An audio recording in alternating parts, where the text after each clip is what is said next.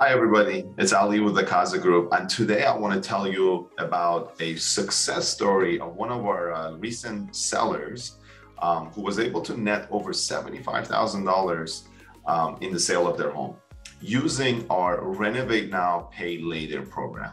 So, most usually, when a seller is thinking about selling their home, the most common questions I get is what should I renovate? What should I spend money on that I would actually end up netting more in the sale of my home? And the answer is you never want to just do renovate to, to do renovations, right? You want to renovate the things that end up actually making more money in the sale of your home. Uh, meaning, if I'm spending a dollar, am I getting three, two uh, dollars back out, right? So those those renovations are most of the time the um, there's a list I have the most common things that we should renovate. We visit the home and we look at um, what are the things that we should renovate and what are the things that um, are not necessary. We never want to just completely remodel to remodel.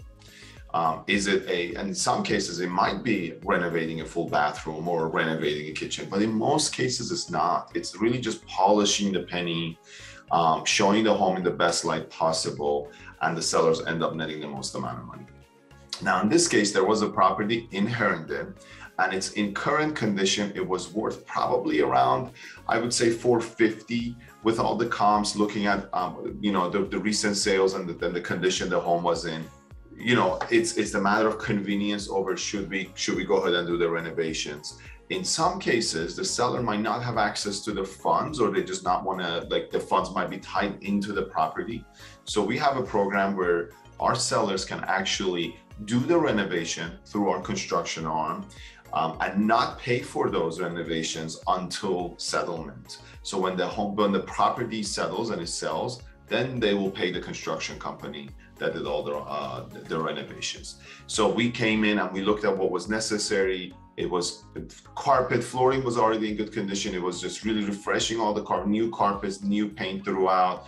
Uh, there was a lot of old wallpaper that we had to tear out and repaint the wallpaper, but also all throughout the home. The hardwares, meaning the light fixtures, the bathroom hardware, refreshing, like just the light lighting in the bathrooms. So overall, with about $25,000 of renovations, they ended up netting $75,000 more. The property ended up selling for five over 550 and looking at the comps in the market we were in with, with an aggressive pricing strategy and the marketing that we did around that, um, we were actually able to get multiple offers and go above what they were asking for. And they ended up selling for over 550. And looking at before the renovations were done, that would have just been around 450 based on the condition it was in. So if you're a seller looking to, to sell in the near future, it's always smart to look at what should I prepare for, what renovations um, I should do. If you have any questions specifically about our Renovate Now, Pay Later program, as always, if you have any questions, I'm, I'm available as a resource to help you make smarter home buying and selling decisions. Have an awesome day.